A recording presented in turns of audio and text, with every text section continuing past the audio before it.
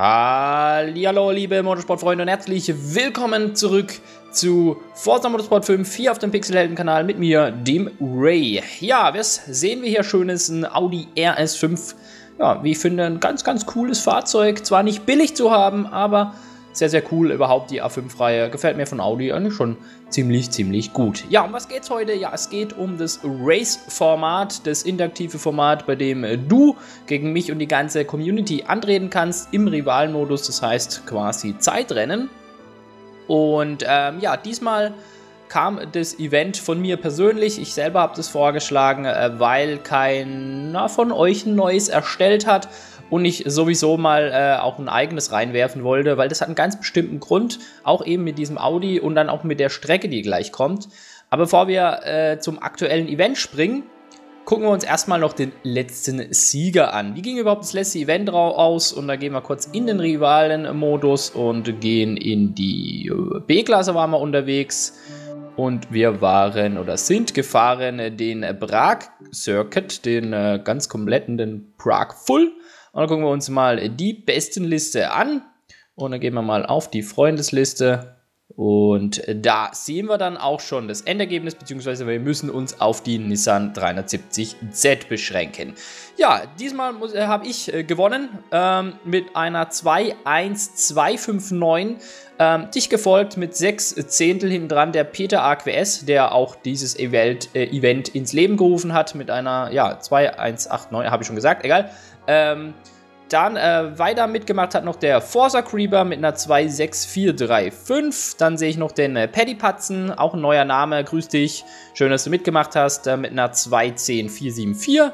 Dann weiter unten noch der Mr. Magala mit einer 212501. Und ansonsten kommt da nochmal ein 370Z. Ja, da ist nochmal einer, der Let's Freaky, eine 223467. Hat noch jemand vielleicht eine ungültige Zeit gesetzt? Mal gucken, ob es da noch irgendwo ein 370Z gibt. Nö, doch, ah da, der letzte, der Lukat Kraft, da hat noch mit einer 33539 leider unsauber noch eine Zeit gesetzt. Ja, vielen Dank fürs Teilnehmen. Freut mich immer, wenn wieder neue Leute und auch alte Leute mit dabei sind. Diesmal muss man sagen, war das Event ähm, da auf Prag sehr, sehr anspruchsvoll. Ähm, nicht nur der Nissan war, doch, der war schon geil zu fahren, aber die Strecke äh, die Kombination und alles war schon, finde ich, sehr, sehr hohes Niveau, sehr, sehr anspruchsvoll. Wenn ihr jetzt auch seht, wir sind hier mit dem Nissan 370Z, beziehungsweise meiner einer auf Position 231 der Weltrangliste gegangen. Jetzt gucken wir mal, wie groß die Weltrangliste ist. Ja, ihr seht schon, 1,2 Millionen Leute, grob gerundet, also 1.264.341 Spieler gibt es, die eine Zeit gelistet haben auf dieser Strecke. Ja, und ich befinde mich tatsächlich hier unter der Top 231, also auf Platz 231 und auch der Peter mit 300, Platz 355 oder Forza Creeper mit 2600 und überhaupt alle sind relativ weit vorne, wenn man überlegt, das ist schon krass, so eine Zahl, wenn man das vergleicht, das ist schon Wahnsinn. Ja, und dass man mit dem Nissan 370Z so weit vorgekommen ist, ist auch aller Ehren wert, weil ich habe mir mal die Mühe gemacht ähm, und habe mal geguckt, hier in den Höchstpunktzahlen alle Autos durchgeguckt und es ist tatsächlich so, dass äh, ich mit, diesem, mit dieser Zeit der Beste ist, der mit dem Nissan 370Z gefahren ist. Alle anderen sind hier andere Fahrzeuge gefahren, die halt für die Strecke etwas besser sind. Ja, und wenn man mal guckt, äh, für das, dass die Autos da perfekt für die Strecke sind, liegen die Zeiten dann, finde ich, nicht so weit aus. Und nein, ich meine, das sind jetzt knapp 5 Sekunden. Und 5 Sekunden mit einem anderen Auto, was für die Strecke viel, viel besser passt ja, das äh, macht schon viel, viel, viel, viel, viel aus. Und ähm, ja, von dem her kann man absolut zufrieden sein und sieht man auch mal, wie hoch das Niveau hier mittlerweile ist. Ist echt der Wahnsinn. Aber ähm, ja, das soll niemand abschrecken. Und warum das niemand abschrecken soll, da kommen wir heute in diesem speziellen Race-Format dazu. Aber ich würde sagen, bevor wir das neue Format starten, bevor ich darauf eingehe, gucken wir doch uns mal diese Runde von mir an. Man hat ja die Möglichkeit hier in Forza 5 immerhin diese Top-Zeit nochmal anzugucken, diese Aufzeichnung ansehen. Jawohl, das werden wir tun. Und ähm, deswegen gucken wir uns das mal kurz an. Und äh, ja, gucken wir mal, wie ich gefahren bin. Vielleicht interessiert es den einen oder anderen, der es auch versucht hat, was äh, da bei ihm vielleicht gefehlt hat oder erkennt sonst irgendwas oder wie auch immer. Einfach auch der Ehrenhalber. Also wenn ich jetzt nicht gewonnen hätte, sondern der Peter zum Beispiel, hätte ich auch natürlich Peters Runde gezeigt. Das ist klar. Bei Forza Horizon 2, das Race-Format, was dort läuft, ne, auch zu, zur, ähm, zur Erwähnung. Es gibt zwei Race-Format, einmal hier in Forza Motorsport 5 und einmal in Forza Horizon 2. Äh, und eben bei Horizon 2 kann ich leider nicht diese Runde zeigen. Die, da gibt es keine Aufzeichnung dafür. Leider, leider. So, da sehen wir es. Gehen wir mal auf eine andere Kamera. Vielleicht in die Cockpit-Sicht. Die ist eigentlich die interessanteste. Da sehen wir, wie ich hier ja, durch die erste Kurve fahre. Ja, habe ich ganz, ganz eng wollte ich das fahren und das war auch ein guter, gutes Mittel, hier schnell durchzukommen.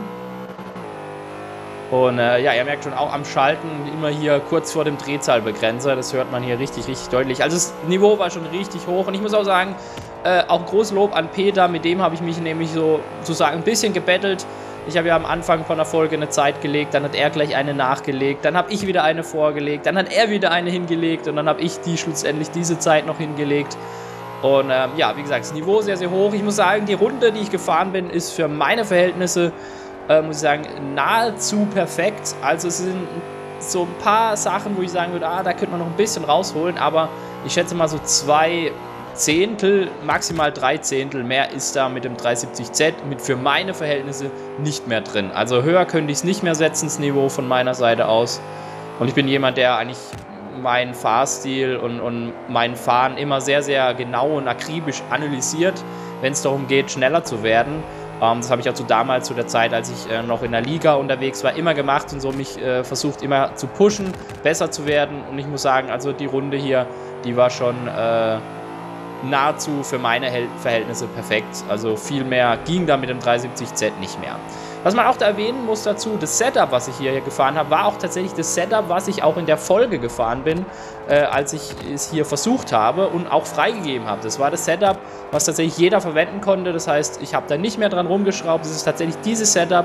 Und da seht ihr mal, dass diese 10 bis 15 Minuten Setups, die ich da manchmal erstelle, gar nicht so schlecht sein können. Ja, an dieser Stelle.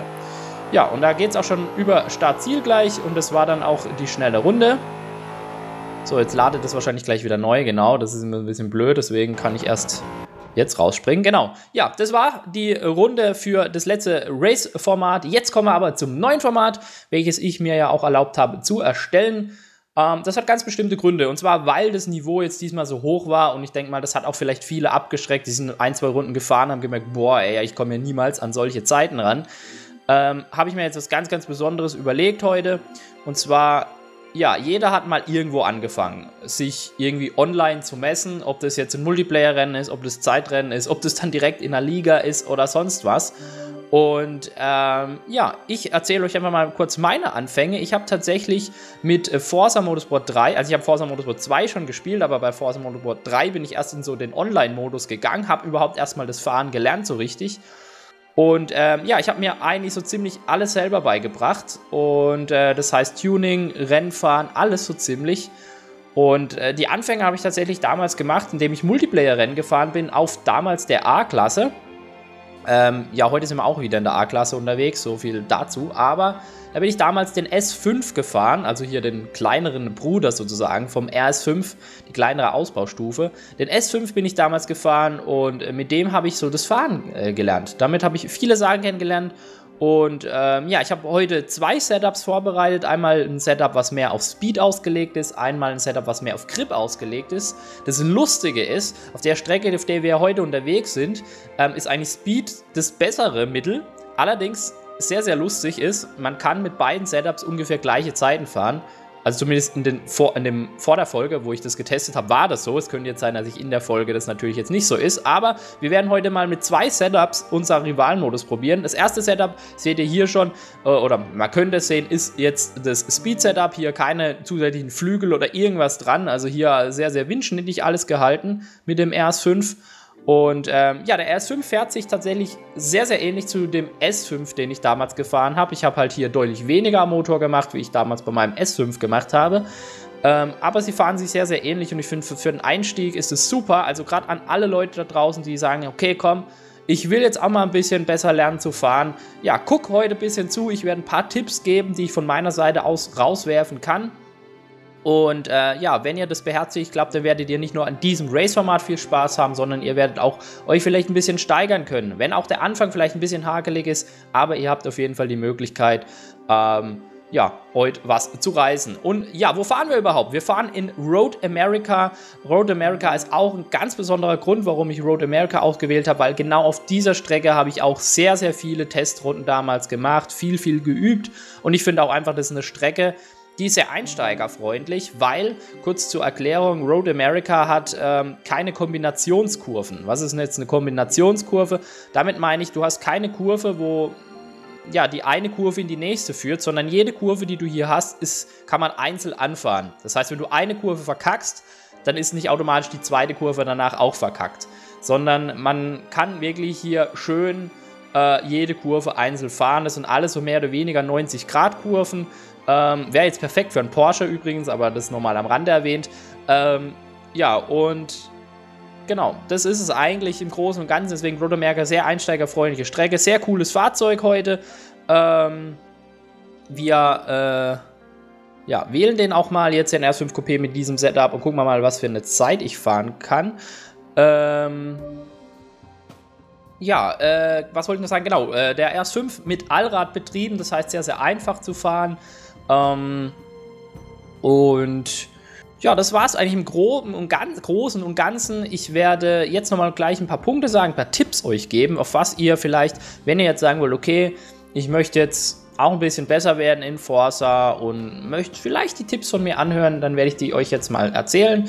Ähm, wie gesagt, ich habe ja echt schon viel Erfahrung, was Forza betrifft und da fühle ich mich auch sicher, euch oder stark genug, euch Tipps geben zu dürfen. So, in den besten Listen, das ist jetzt, glaube ich, ein bisschen das Problem, weil ich glaube, die Zeit, die hier steht, die kann ich gar nicht schlagen. Was bin ich denn da gefahren? weil in den Testrunden bin ich nicht so schnell gefahren. Aston Martin DBS, okay, der ist halt ziemlich krass auf A700.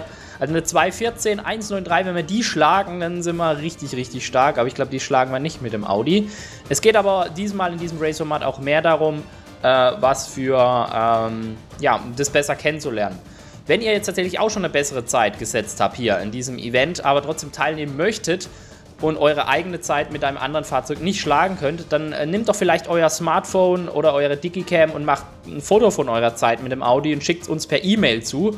Die E-Mail-Adresse findet ihr bei uns auf dem Kanal direkt äh, unter Infos oder weitere Infos. Da ist unten irgendwo geschäftliche E-Mail-Adresse verlinkt. Ähm, genau, und da einfach dann hinschicken. So, nochmal zu der Info, falls ihr hier in den besten Listen nicht auftaucht. Ähm, ja, zu den Fahrhilfen, das ist vielleicht ein wichtiger Punkt. Ähm, bei der Ideallinie, wenn ihr euch nicht sicher seid, wo ich bremsen muss oder wo die Bremspunkte sind, dann nutzt hier auch, wie ich es jetzt gerade aktuell drin habe, nur die Bremshilfe. Dann äh, zeigt äh, euch die, die Bremspunkte an. Das ist nicht schlecht für die Leute, wie gesagt, die äh, die Bremspunkte noch nicht kennen auf der Strecke. Da müsst ihr euch auch nicht schämen. Das habe ich früher auch immer sehr, sehr lang verwendet. Ähm, mittlerweile verwende ich es nicht mehr, weil ich es einfach selber mir die Bremspunkte aneignen möchte. Wie gesagt, ich bin da auch noch in einer Experimentierphase, weil es von Auto zu Auto, Strecke zu Strecke immer unterschiedlich ist. Ähm, genau, dann ein weiterer Punkt, was ich euch einfach mal als Tipp geben würde, ist, versucht mal ohne ABS zu bremsen. Ich werde es euch heute mal erklären, wie man ohne ABS bremsen kann. Äh, wenn ihr mit Controller unterwegs seid, äh, fährt auf normal, nicht Simulation. Simulation, das sollte man nur mit dem Lenkrad machen, ähm, mit Controller auf normal. Traktion und Stabilitätskontrolle auf jeden Fall aus. Wir fahren heute ein Allradfahrzeug, somit erübrigt sich das definitiv. Das bremst euch nur aus, diese Traktion. Bei der Schaltung versucht mal mit äh, der Handschaltung zu schalten. Also legt euch hoch und runter schalten auf eine Taste. Für die Fortgeschrittenen unter euch könnt ihr dann mit Kupplung, aber das müsst ihr nicht, das mache jetzt ich. Ihr könnt äh, mit der normalen Handschaltung schalten. Genau, und so übernehmt ihr das einfach mal, mehr oder weniger. Also das, was ich euch jetzt gesagt habe. Und wir legen jetzt einfach mal los. Wir haben schon viel Zeit geblabert und sind noch gar nicht gefahren. Deswegen muss ich mich beeilen, wenn ich noch mit dem anderen Setup unterwegs sein möchte. Möchte euch aber ähm, gleich mal ein paar Punkte ansprechen. Und zwar, ähm, wir fahren jetzt nicht gleich los, sondern wir gehen jetzt auch kurz vielleicht mal in die Außensicht. Ähm, ganz, ganz, ganz wichtig ist beim Bremsen ohne ABS. Das ist das, was ich euch mal vielleicht ein bisschen erklären möchte. Und zwar, wenn ihr hier fährt und ihr wollt bremsen und ihr macht natürlich so, wie ihr es bei ABS kennt, eine Vollbremsung, dann blockieren die Räder. Das seht ihr auch hier. Also die blockieren hier voll ab. So, Ähm, ja, was macht ABS oder wer schon mal im Auto gesessen ist, wo es da so hart gebremst hat, hat man ja immer so, so, so ein Stockern gehört. Ne? Also man nennt das ja auch so, so Stotterbremse.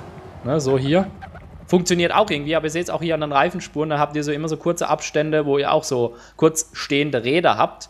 Ja, und das ist, wenn ihr ja, entsprechende Reifenabnutzung habt, dann macht ihr ganz viele Blattfüße drauf und das ist auch nicht so effektiv. So, wie kann man das denn machen, dass man bei, äh, ohne ABS gut bremst? Ja, indem man einfach das Bremspedal nicht so stark durchdrückt. Ihr habt die Möglichkeit, gerade bei Forza 5 durch die äh, vibrierenden Triggertasten genau zu spüren, ab wann äh, die Reifen blockieren. Also sobald das Ding anfängt stärker zu vibrieren, dann müsst ihr etwas zurückgehen. Wenn, äh, wenn, wenn, wenn ihr noch nichts spürt, könnt ihr immer so stärker drücken. Im Normalfall, im Idealfall ist es so, dass ihr, wenn ihr die Bremsen richtig eingestellt habt, dass ihr so ungefähr bei 80, 90 Prozent durchdrückt und dann immer stärker durchdrücken könnt, bis so 95 Prozent. 100 Prozent nie durchdrücken. Also wenn, das kann mal zwar passieren, dass euch der Finger ausrutscht, aber 100% nie durchdrücken, 100% bedeutet immer blockierende Räder. Ich kann das euch mal auch demonstrieren. Siehst also hier ist immer gleich so. Also wenn ihr steht, dann könnt ihr natürlich komplett durchdrücken. Aber das ist einfach der Tipp. Achtet mal auf die Telemetrie. Das Rote unten, das Rote hier auf der Seite, auf das geht's hier. Achtet mal darauf, wie ich da so ein bisschen fair, ohne ABS. Ähm, genau, und dann fahren wir jetzt einfach mal. Bremspunkte muss ich jetzt gerade selber nochmal gucken, äh, wo ich hier bremsen muss. Also da einfach mal drauf achten, wie ich so äh, bremse, wie ich so das Fahrzeug abbremse. Muss jetzt natürlich gucken, muss jetzt die Reifen erstmal auf Temperatur kriegen. Das ist natürlich jetzt auch so eine Sache. Aber ihr merkt auch immer gleich, äh, wenn ich hier dann doch außersehen mal auf die 100% rutsche, das kann halt immer mal passieren, dann merkt ihr auch gleich oder hört ihr es gleich, dass die Reifen so ein bisschen quietschen. Das ist immer, wenn der äh, Reifen Stillstand hat. Und normalerweise spürt ihr das absolut an euren Triggern-Tasten. Das ist echt vorteilhaft in Forza 5, dass die gibt. Die habe ich damals nicht gehabt in Forza 3. Ich habe mir das alles äh, nach Gefühl äh, angeeignet. Und äh, das könnt ihr halt wirklich einfach mal ein bisschen üben. Einfach mal das Bremsen ohne ABS. Glaubt mir, ihr habt den, euer Bremsweg ist um einiges kürzer, wenn ihr ohne ABS bremst.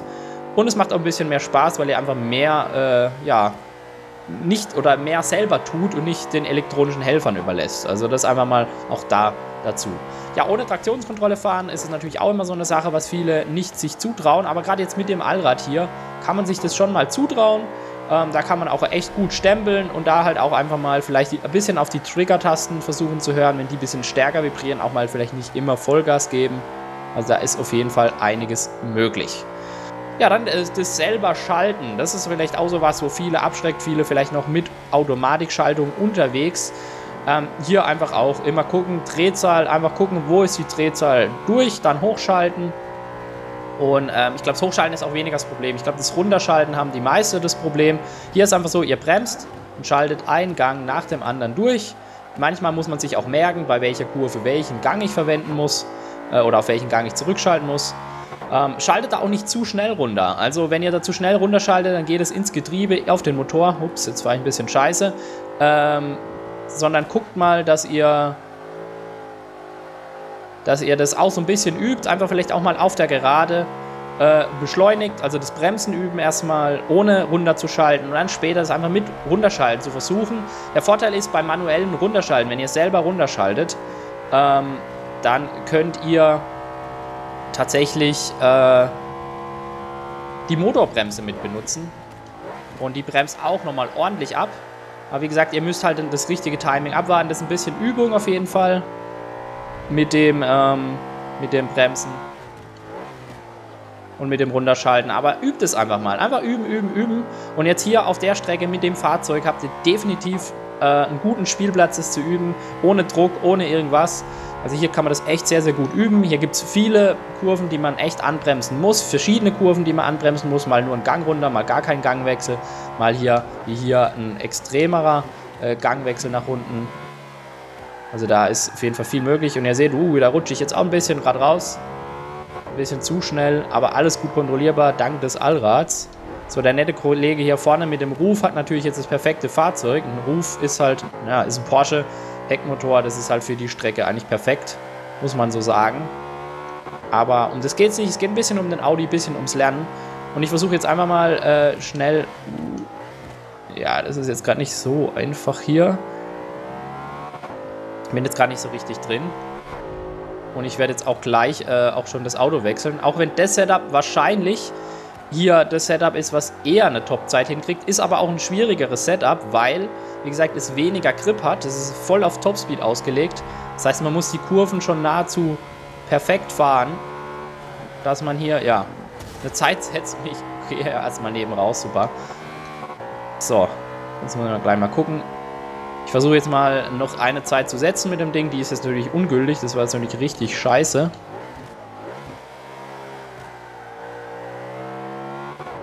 Und äh, ich fahre jetzt noch eine Runde schnell. Und dann wechseln wir schnell das Setup. Und das andere Setup ist ein Grip-Setup. Ey, hier rutsche ich auch zu weit raus. Okay, also ihr merkt schon, Road America. Da muss ich, glaube ich, auch noch ein bisschen üben. nee, das Problem war, ich habe jetzt äh, kurz vor der Folge das Grip-Setup die ganze Zeit gefahren. Ja, und dementsprechend merkt ihr auch, dass ich hier die ganze Zeit rausrutsche. Ähm, ja, ich wechsle einfach jetzt schon mal auf das andere Setup. Ähm, das war jetzt natürlich nichts Besonderes hier. Machen wir mal Rennen beenden, okay.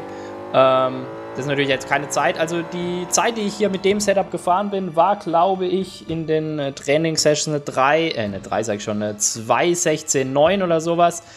Ähm, also da sind auf jeden Fall auch gute Zeiten möglich. Äh, das Setup werde ich euch jetzt auch freigeben, das da. Also entschuldigt bitte dieses, dieses schlechte Fastfield gerade, das machen wir jetzt gleich besser mit dem Grip-Setup. Und mit dem Grip-Setup werde ich jetzt einfach auch mal die Zeit setzen oder die Startzeit für dieses Event setzen. Ich werde dann auch nochmal später äh, hier und da mal nochmal eine Zeit setzen, offscreen dann halt. Aber ich wohl äh, oder will euch auf jeden Fall auch äh, die Chancen lassen, hier gute Zeiten zu setzen. So, ich muss jetzt hier mal, glaube ich, ein paar Replays löschen, sonst haben wir ein Problem. So, speichern wir das mal ab. Speichert er auch. Und äh, wunderbar, genau. Und dann gehen wir hier auch raus. Das war natürlich jetzt ein Schuss in den Ofen sozusagen. Ähm, und jetzt äh, werde ich mal schnell und schleunigst das Setup wechseln.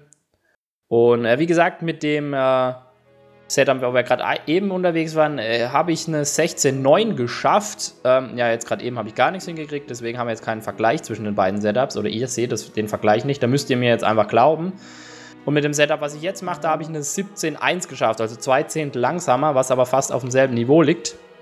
Aber jetzt gucken wir mal, was wir hinkriegen. So, upgraden. Ich lade mal schnell ähm, das Setup, beziehungsweise ich werde...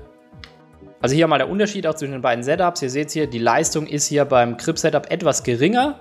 Ähm, und ihr seht auch, die das Handling nimmt extrem zu. Genauso äh, verliert er aber halt Beschleunigung und Höchstgeschwindigkeit. Also hier, das ist der Unterschied zwischen den beiden Setups. Das war das Setup von gerade eben.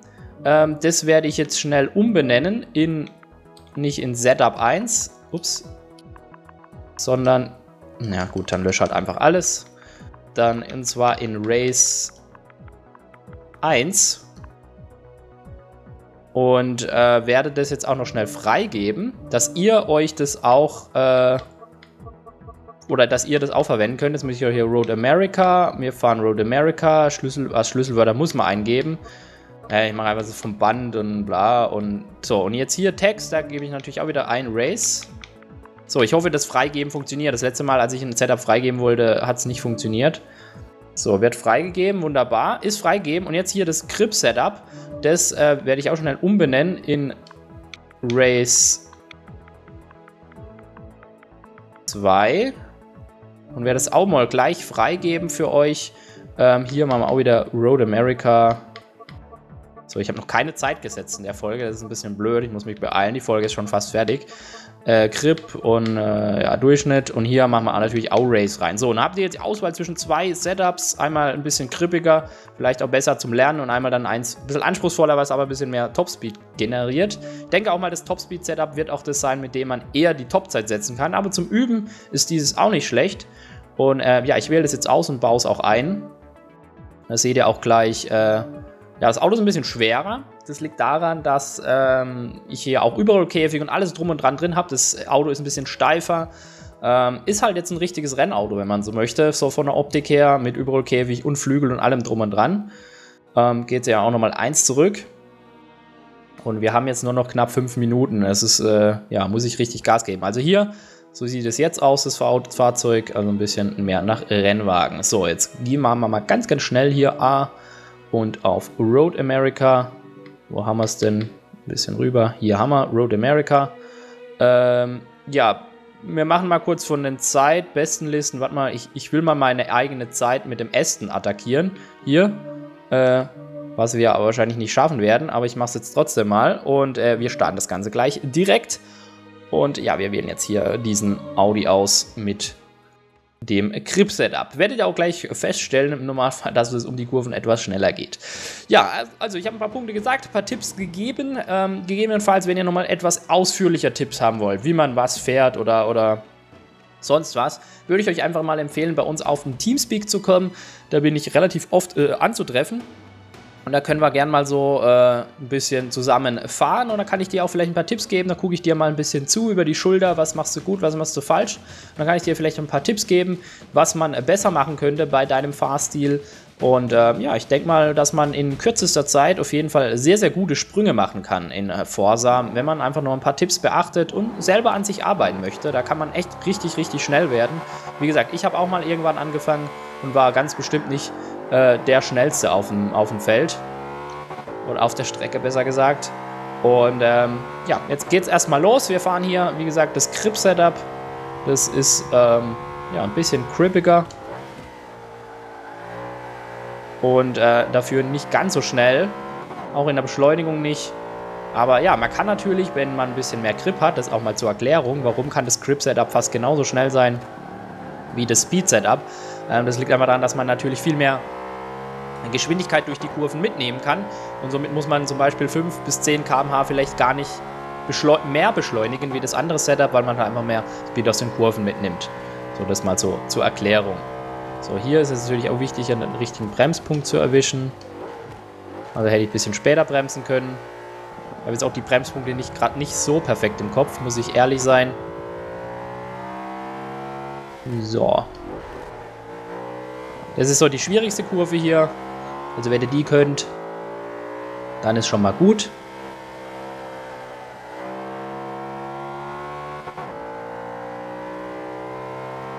So, alles noch in der Einführungsrunde. Reifen sind mittlerweile schon warm. Und jetzt müssen wir mal gucken, ob wir hier eine gezeitete Runde noch hinkriegen. Das wäre ja echt peinlich. Das erste Race-Format, äh, wo ich nicht mal eine Zeit schaffe. Das wäre natürlich super scheiße. Das wollen wir natürlich nicht haben. So, hier ein bisschen anbremsen. Und, oh, okay, das war ein bisschen zu früh angebremst. Ja, also merkt schon, so perfekt fahre ich auch noch nicht. Aber ich habe jetzt auch im Vorfeld nicht so richtig geübt. Ich habe Set, die zwei Setups vor einer Woche oder so erstellt. Noch vor Project Cars. Und jetzt bin ich hier zum ersten Mal wieder in Forza unterwegs. Ähm, neben Project Cars. Und ja, was halt direkt auffällt, die Steuerung ist natürlich viel geiler hier. Das macht auch wieder richtig viel Laune. Aber ich muss jetzt erstmal wieder ein bisschen reinkommen, äh, hier eine gute Zeit zu setzen. Vielleicht hätte ich im Vorfeld auch nochmal zwei, drei Runden fahren sollen. Aber naja, egal. Live und ungeschnitten für euch.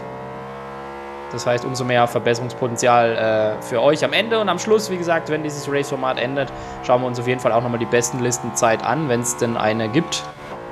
So, jetzt fahren wir mal eine schnelle Runde und ihr seht schon, ja, der Aston hier, den ich habe, aufgebaut habe, der hat schon ein bisschen mehr Speed. So, dann müssen wir mal hier rechtzeitig bremsen. Da kommen wir ein bisschen zu weit raus. Kommt der Aston jetzt hier gerade besser durch. Aber ich versuche jetzt einfach mal hier die Runde eine Zeit zu setzen.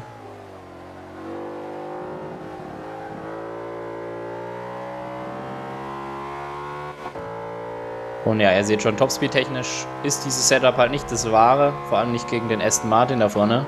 Der ist nämlich wirklich ein Highspeed-Wunder, muss man mal so sagen. Der geht richtig ab. Aber wie gesagt, wir fahren jetzt hier mal mit dem etwas äh, einfacheren Fahrzeug. Hier wieder zu früh gebremst und jetzt die Kurve auch nicht so besonders angefahren. Aber gut.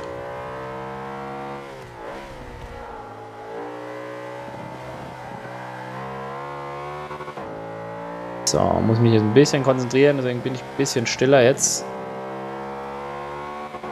So, die Kurve da unten, da fährt man ein bisschen das Bergabstück, da müssen wir auch ein bisschen aufpassen beim Anbremsen, dass ihr da äh, nicht zu spät bremst. So, und die Kurve ist eigentlich auch relativ geil zu fahren, vor allem hier mit diesem Grip-Setup, da kann man hier richtig fliegen lassen. So, Ja, ihr seht schon, der Essen fährt hier richtig weg.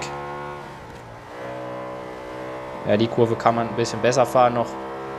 Da bin ich jetzt einfach nicht geübt drin. Also, was, was halt auch ein ganz, ganz großer Tipp von meiner Seite ist, fahren, fahren, fahren auf einer Strecke mit einem bestimmten Auto. Einfach rantasten. Einfach gucken, äh, wo ist mehr möglich, äh, wo kann ich ein bisschen mehr rausholen.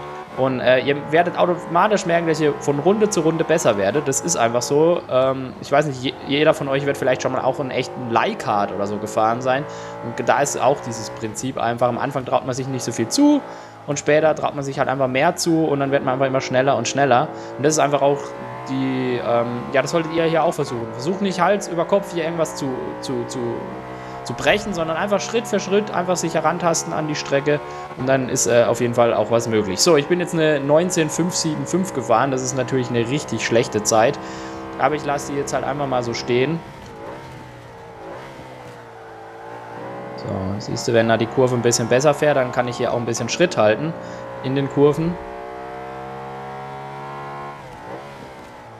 Mit dem Ästen. Komme ich hier, ja, beim Rausbeschleunigen zieht er mir dann wieder weg. Komm, ich fahre jetzt noch eine Runde, gibt es halt eine bisschen längere Folge heute. Weil ich setze da jetzt nochmal ein bisschen eine bessere Zeit hin. Ich versuche es zumindest mal.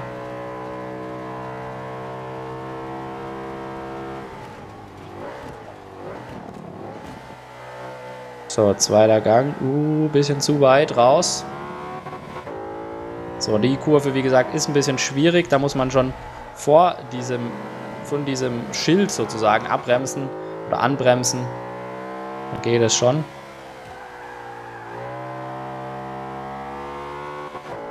So, fast eine Sekunde schneller schon wie in der Runde zuvor.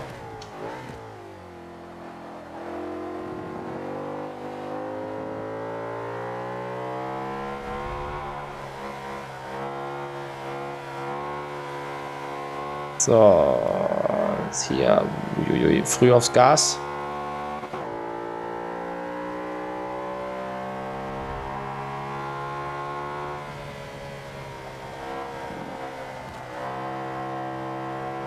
Und durchbeschleunigen. Fünfter Gang. Uiuiui. Sieht schon ein bisschen besser aus hier.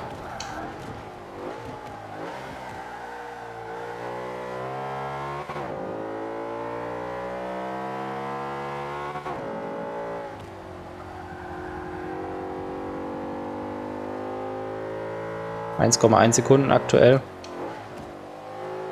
Sind wir schneller unterwegs. Uiuiui. So. Ja, dann wird noch mal ein bisschen eine bessere Zeit. Aber die ist mehr als schlagbar auf jeden Fall. Ähm, also ich bin mal gespannt, was ihr so für Zeiten da rausholt. Natürlich müsst ihr nicht meine Setups verwenden. Da kann man natürlich auch noch mal ein bisschen selber was machen. Also eine 18182 sind wir jetzt gefahren. Hier nochmal der Bremstest hier. Zack, zack. Und ganz am Schluss bei 100% quietscht dann nochmal kurz. So, das war's jetzt. Ich äh, beende das Ganze jetzt hier. Ähm, eine 18182 gilt es jetzt am Anfang zu schlagen. Ich denke, das wird kein Problem sein. Ich schätze mal, wir werden hier mit dem Audi am Schluss bestimmt Zeiten sehen, die so die 215er Marke oder so kratzen. Oder vielleicht auch noch schneller. Man weiß es nicht. Ich bin mal gespannt, was für Zeiten ihr setzt.